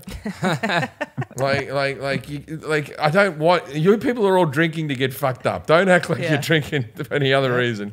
I'm not going rounds with you with my basic drink. No, I mean, hop water is exploding right now. It's 0.0%. So, I mean, it's not even slightly non alcoholic. Uh, so, I have some up coming into the brewery next week. It's made by a place in Colorado. But yeah, it's all local hops that they're bringing in, super fresh. They're doing these double dry hop waters that when you pour it into a glass, it looks, it's fizzy yellow, looks like a beer. So, I mean, it's going to be huge again. Well, I drink the Heineken- perception, Yeah. you know. Heineken Zero, and it's pretty good. It's not. It doesn't Yeah, taste uh, quite not bad, right. right? It's pretty good. And I heard that's because no alcoholic beers used to taste like dog, like ass about ten years ago. And uh, m- correct me if I'm wrong, but I heard what happened was they used to synthetically try to make the beer taste and try to get it done. But now they actually make the beer, then they burn off the alcohol, and that's why they're not completely alcohol free. They're zero ah. zero point two. You'd have to have a fucking three hundred of them to feel a buzz, but. You know, Yep. it's it's so now they taste, and so there are some alcoholics that are like, no, it's still got alcohol in it, but it is so minimal. It's the same as eating your grandmother's fucking Christmas cake. Yeah. Right. Yeah, absolutely. And and again, people are realizing that they don't want shit that's made with extracts, you know, Yeah. natural flavorings and all this stuff. And so these dealcoholizers, like we had talked about before, like Heineken can make a product that rips Yeah, yeah. because they are they got the money for the machine, you know. Well, they they all seem to have one now. They all say mm-hmm. every every brand seems to have churned one out. what is the most common style of beer brewed by the big breweries? Jim said loggers. Loggers. That's correct. Loggers. Yep. yeah, all day, Ten out of ten. all day. in the warehouses. And then and then we were talking about Grolsch Lager with the pop tops, and then we're talking about like uh, I'm trying to think of other bit like uh, Beck's with the foil on the top and all that type of stuff. Uh, Aren't those things a fucking pain in the ass to make, or is that just Oh, a, absolutely. you know what I mean? Like to go, we're gonna have to put foil on the top of each one, or do they just see that as their brand and all that type of stuff, or is that easy? I mean, these days, if you have a business that you have a need, there is a mm-hmm. company that will create a machine for you. So Right. I have a friend, he has a meadery in Arizona that they did swing tops, and their staff, as they were coming off the bottling line, was having to swing each one. And he said the blisters on their thumbs, it's like an 80s kid, you know, arcade fingers. Mm. So he reached out to a couple companies that they make packaging machines. And he says, I need a machine that closes a swing top lid, puts a plastic seal, and applies heat to it.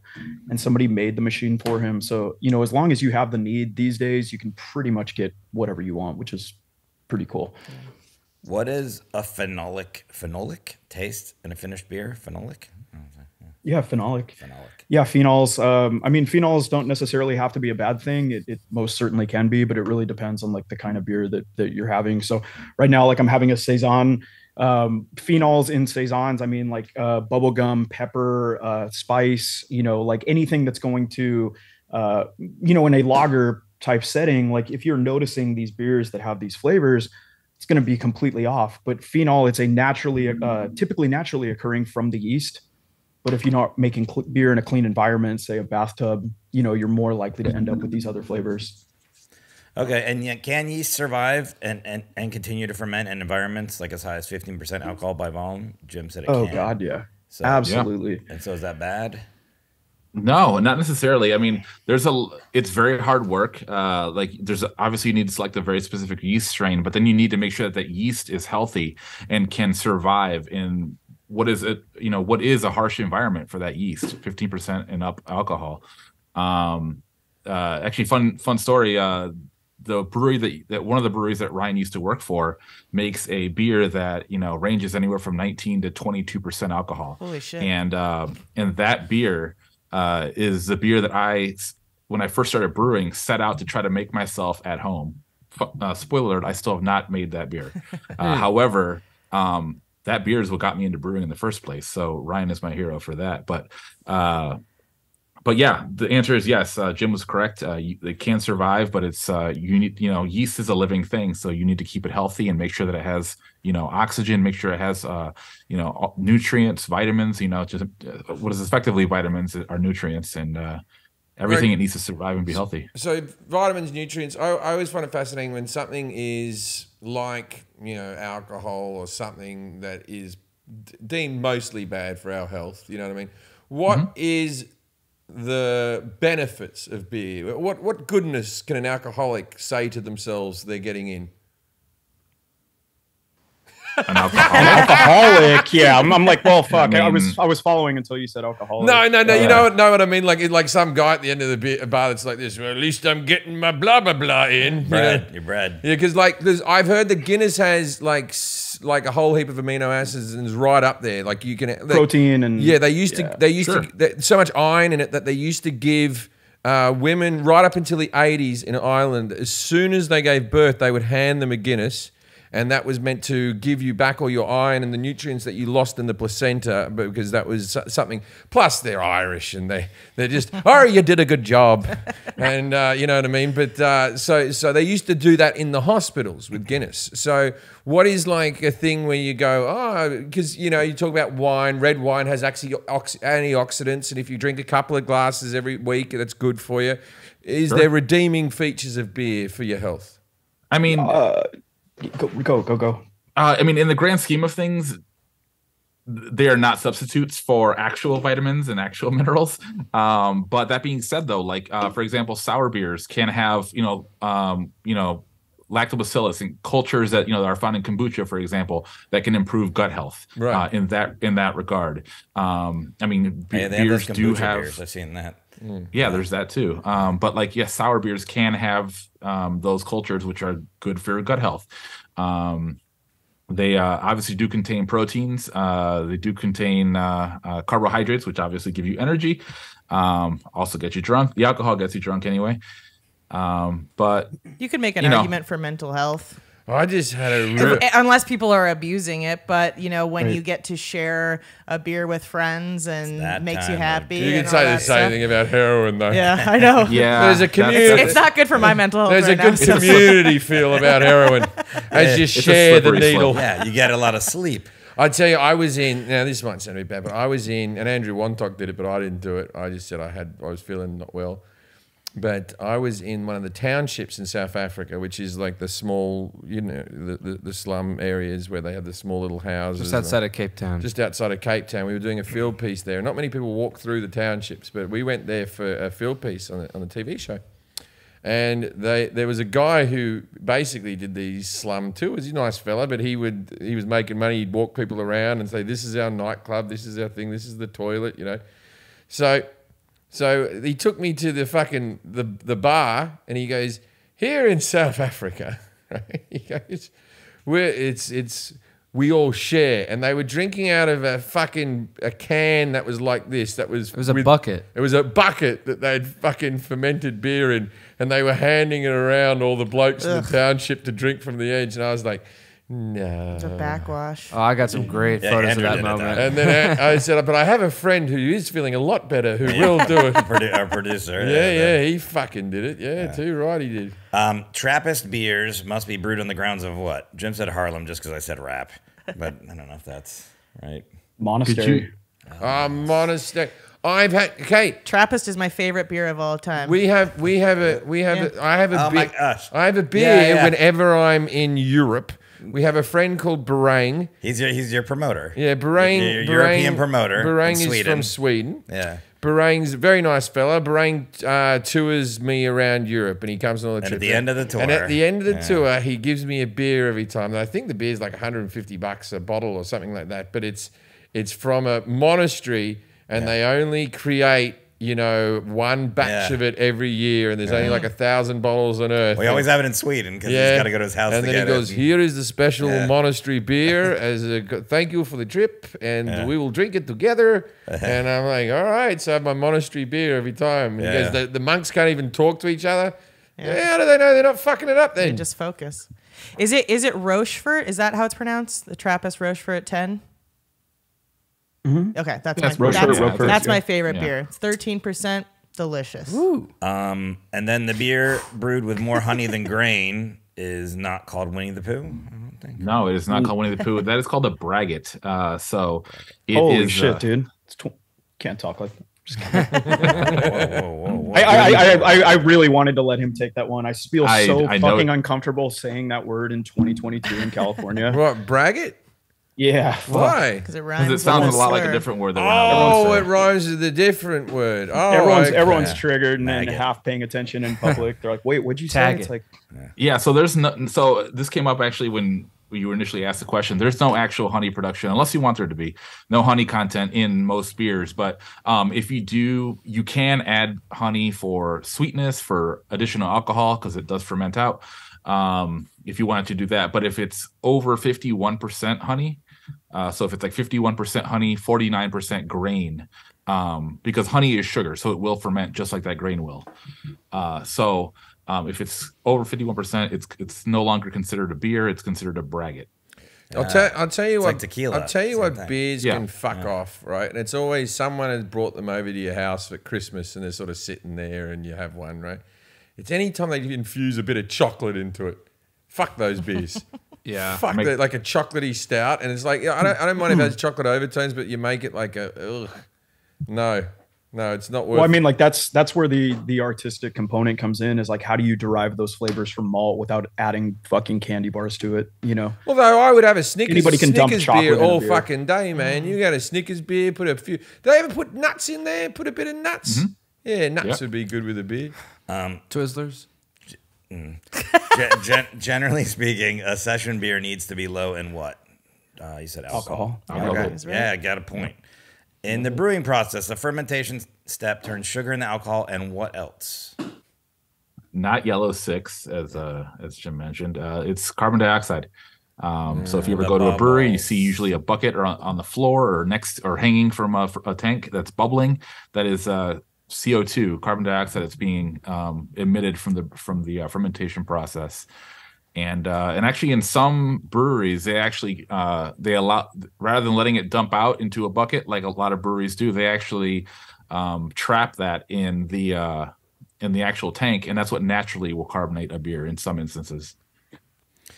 Okay. Uh, actually, what's really interesting about that, so every brewery obviously has like a bulk CO2 tank, and so CO2, where most breweries get it, it is a byproduct of uh, fermentation from soil. You know, uh, so it, with with COVID, that is why there is this CO2 shortage that you've heard about. Why prices are through the roof, but with there being less people out working, less farming, that is where the CO2 it gets trapped naturally. Those those greenhouse gases packaged and then sold back to sold back to us. So it's a crazy business model if you think about that too. All right, just quickly around the room, starting with Jack, going to Kelly, going to Forrest, going to me, then going to you guys.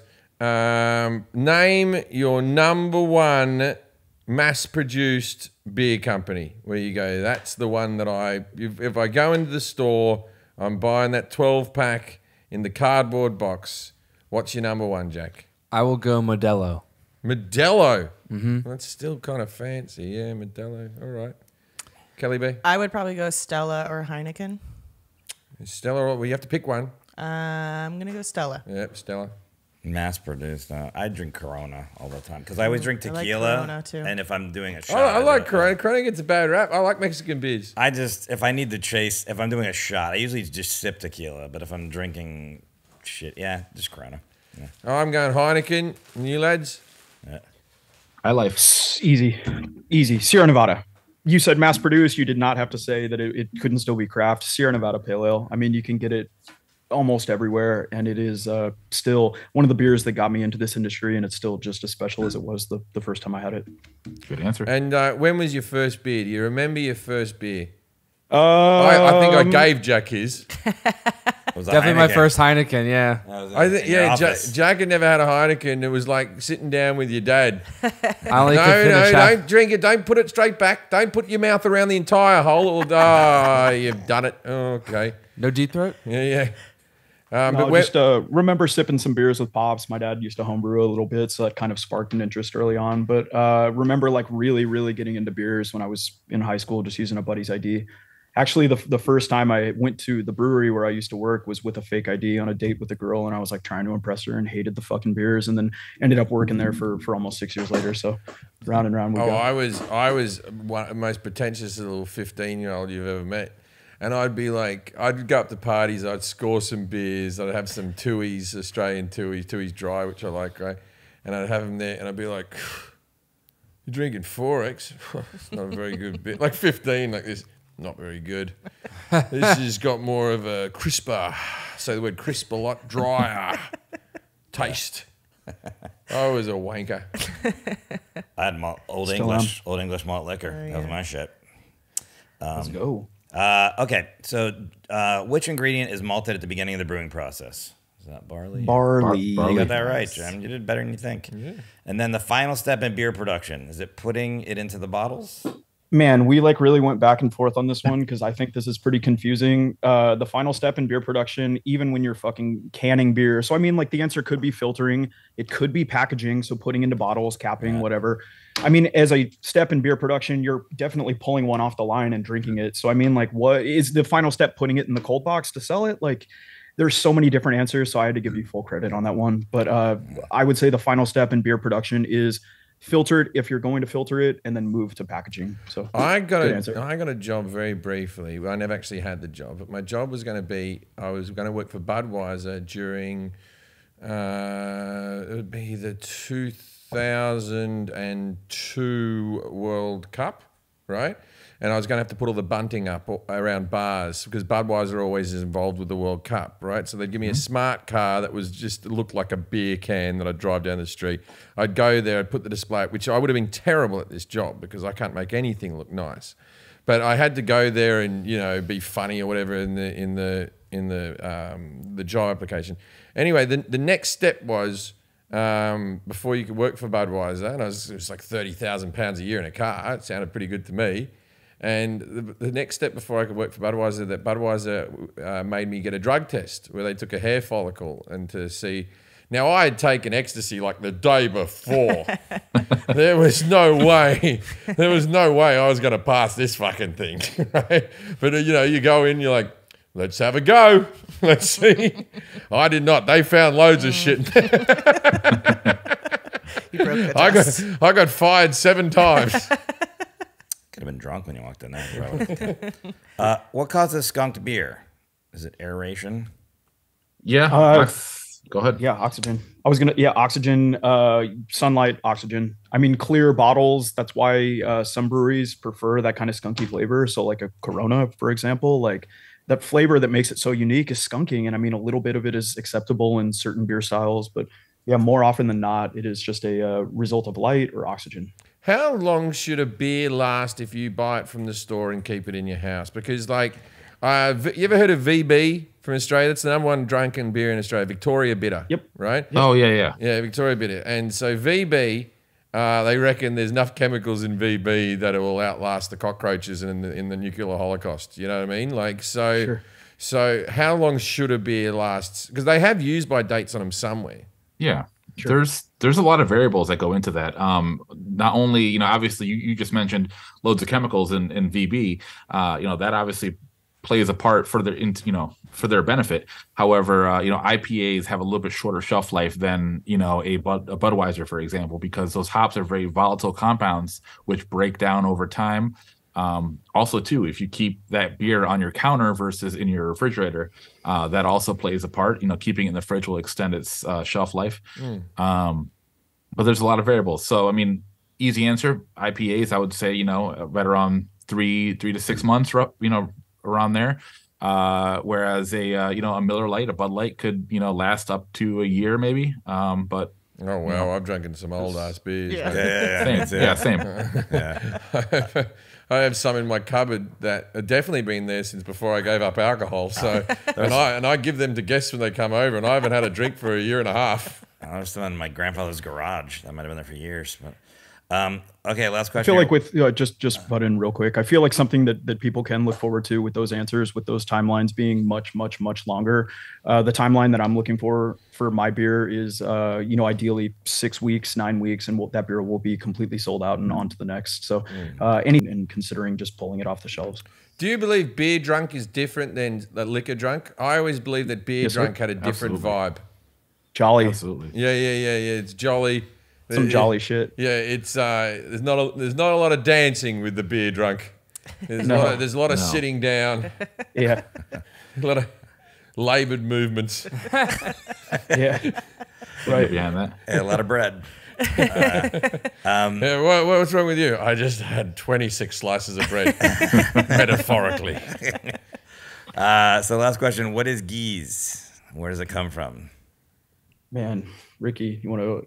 Uh, yeah. So what it's uh, it comes from Belgium. Uh, it's uh, historically from Belgium, um, and what it is, it's uh, this is a pretty complex answer actually because there is a Belgian style of beer called lambic, which is uh, typically sour. It's not always sour, but it's essentially uh, brewed with yeast. That's yeast and bacteria, uh, which kind of bring out different flavors and. Geese or goose or goza, however you choose to pronounce it, um, is typically a blend of uh, lambics that have been aged from two years, one year, and they blend uh, old lambic with young lambic. Um, it's a pretty involved process, and uh, yeah, it's a it's a very unique style of beer. Are you it's Goza? a, Because uh, I am Zool. It's a, uh, a I love that gatekeeper. it's a yeah, it's a beer that is typically inoculated with wild yeast and bacteria found in the Belgian countryside, and so it's very much a beer of the seasons, and so it's uh, very near and dear to Belgian tradition. Uh, but yeah, like you said, it's a blend of one, two, and three-year-old golden sour beers, You- uh, very lightly soured with. You this go into bars in Belgium. That's the best beer I've ever had. it's very good, but fuck me. uh, There's literally some bars that have 300 beers in them. Yeah. And you're like, I, I, When we went- I, no, when we- I don't know what to pick now. When we went to Antwerp, we went to like that jazz bar thing the promoter took us to, and I don't even. She just kept saying, "Order that, order that, order that." And I'm not even a huge beer guy, and every single beer I had was the best beer I ever had. And we were in Antwerp, like just in some bar, and it was fucking amazing. Like I that that that made me love beer. Like again, like in Belgium, there it was like We actually got invited as a, like I said, like a 10 week old brewery. We got invited to a Belgian beer festival in Antwerp. They are paying for our plane tickets, for the beer, for the hotel. Ah, it's like an awesome. all expenses paid trip. So I'm going to be in Antwerp second week in Oh, November. so man, yeah, enjoy if you it. send it Have you ever over. been? and like like Uh, like never been. like Uh, the honor that the Belgians are asking Americans to come over because th- that's that's one of the places where it's looked You've no down. idea. Americans they're a bit snobby about the whole thing. And it's Good so cool you. too because it's like all the old building. You just walk around and see. It's so Yeah. it's, it's really cool. Yeah. Um, all right, cool. to it. Um, here's Good a part, chocolate, man. Here's a part of our show called Dinner Party Facts. We ask our experts to give us some sort of obscure, interesting fact that our listeners can use to impress people. Um, all right, we'll start with Ricky. What do you got for us? Um, so fun fact, Corona, which is actually the best-selling non-domestic beer in the U.S., uh, was it U.S., U.K., and Canada, I believe, um, was originally brewed to celebrate the 10th anniversary of Modelo, which is its parent company. Fun fact. Nice. Well, they uh, is it true? Is it true that the they put the limes on there for sanitation reasons? Because I, I love a lime in uh, Mexican beer and all that type of stuff. But I heard that it was to you know, keep flies away, or the bottles hadn't been sterilized enough, and the citrus would actually help. I I, I heard that it was a sanitationary thing to begin with. Uh, I am not so sure that's true. I mean, any uh, sanitation is pretty much at the core of any halfway reputable brewery, uh, including uh, Modelo or Corona, you know, which is actually nowadays it's actually owned by Anheuser Busch, so which is the largest. Well, I'm not saying Corona as such. I'm just saying Mexican beers historically Oh, okay. all have the limes, and then they've just picked up and run with it. But maybe that Yeah. was just a bit of mild racism I heard. it might be. And I know I know who told us that too. One thing Who the told us? I won't say it right now. I'll say it afterwards. Yeah, we we got a friend who told us. Yeah. Is it who I think it is? I don't know who you're thinking. Yeah, we know who it is. Yeah, we know who it is. Yeah, no, yeah, it was mild racism. Sorry about that, everyone. oh, hey, I've heard it too. No, but like uh, any any brewery, I mean, if, if it's if you don't have you know sanitized bottles, you're gonna get sour sour Corona essentially. So um or sour Modelo. So it's not uh you know you, you don't want that. So I think it might be some mild racism, but uh you know it but it tastes delicious. Modelo. No, I'm a, I'm a big fan. knows? I was one of the first bars I ever walked into with a fake ID, and I was like 16 or something like that. And I walked up and went, "Oh, uh, I'll have, uh, what will I have? Uh, I'll have a couple of Coronas, please." Then it came, and the guy had the lime in it. And I'd never fucking had a Corona like this, right? And then I, I sort of didn't know whether I was meant to squeeze it in the top or put my thumb in. I was looking around, and he goes, he goes, "You know how to drink that, right?" I go, "Yeah, yeah, of course." He goes, "Yeah, you got to." Put it in, you put your thumb over, and then shake it two times, right? And I'm like, Oh, boy. oh, okay. And I Rated boom, boom, in my face. and I'm 16, I just sat there and oh, just drank this foamy half a beer. That's how I like I think he checked my ID afterwards and kicked me out. So all I got was half a beer on my face and half a beer on my belly and fucking kicked out, and they all got a laugh. Um, oh, I love that. What do you got for us, Ryan? Yeah, I, I feel like uh, big beer is like the most relatable and the most fun to talk about at a dinner table. So a couple cool fun facts about Anheuser-Busch. I, I couldn't really pick one. Uh, they pasteurized their product before milk was pasteurized in America. That is fucking crazy. It was also the first to be moved via rail car. Sick. Uh, Anheuser-Busch as a company employs more people than the entire craft beer segment of America. Last count, we as uh, small independent breweries were around 130,000, and they employ between brewing, distribution, you know, all of that, 150,000 people. So they are still fucking massive. Not after that Um, drug test I had to do. oh, Oh, One hundred forty-nine thousand you know, they, you know they do because yeah there's so much driving forklifts all that kind of stuff and then the one that i think is really cool is everybody knows the game root beer tapper but uh, anheuser-busch had originally reached out to bally you know bally hotels when they were making arcade games to have a bartending simulator video game so root beer tapper was actually originally just called tapper it was a budweiser game that they ended up repurposing and throwing out into arcades as a root beer tapper. So that's pretty fun. A game that a lot of kids play. Has a lot of uh, a lot of basis in, in bartending. And even though all the shit is fun, I mean, this company is fucking atrocious. Uh, they are actively trying to squash us and every other brewery uh, of of mine and Ricky size.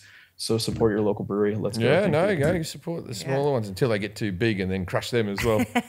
Crush them too. Yeah, to get them out of the way. But that's a, that's the thing. Like like the Guinness Book of Records is made by Guinness, and it was to solve bar fights, right? Right. Bar, bar arguments. Mm-hmm. Well, okay. Well, speaking of Yeah, I reckon the person who could wear the most plates on their head is probably a guy from Italy. they got flat heads over there. Well, speaking of that, go visit Ryan at uh, the Everywhere Brewery in Orange, California. You can find information about them everywherebeer.com or on Instagram at everywherebeerco. And Ricky, um, check him out at the foreignexchangebrewing.com and on Instagram at foreign exchange brewing. Guys, thank you so much for being here. That was pretty awesome. Lads, Thanks thank you so much guys. for being on the show. If you're ever at a party and someone comes up to you and goes, hop, hop, hop, me lady, go, I don't know about that, and walk away. Milady. You're, you're not Australian.